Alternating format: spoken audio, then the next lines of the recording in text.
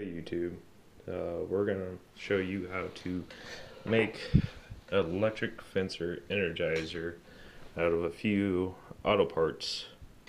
Uh, over here we have an ignition coil, we have a condenser, and right here we have a flasher relay.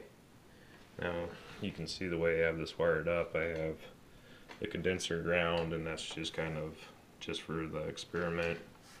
And we have the flasher relay grounded. I don't know if you can see that very well, but right there on X, we have L for load running back to the negative side of the ignition coil. And then on the positive side of the ignition coil, we have power.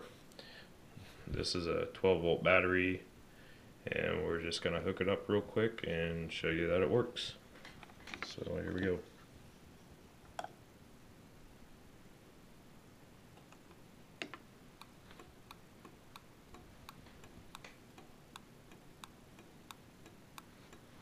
I'm just going to take my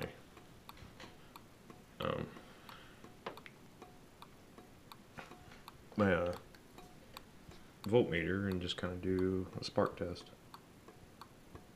I quit shaking here.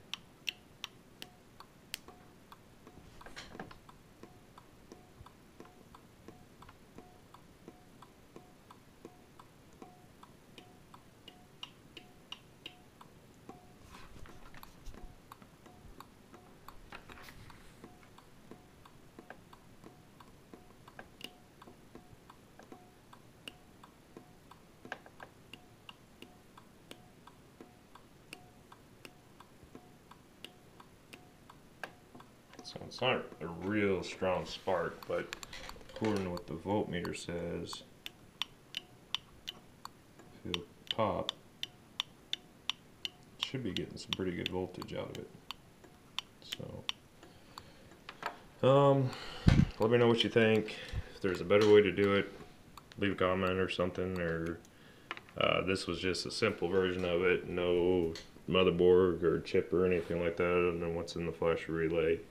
So the problem I'm having is, is I had that unit there hooked up to my fencer uh, going around a cornfield and it wasn't basically doing anything. So trying to just make something more powerful. I don't want to catch a field on fire or kill any animals, but I do want something that's actually going to keep my cows in where they need to be.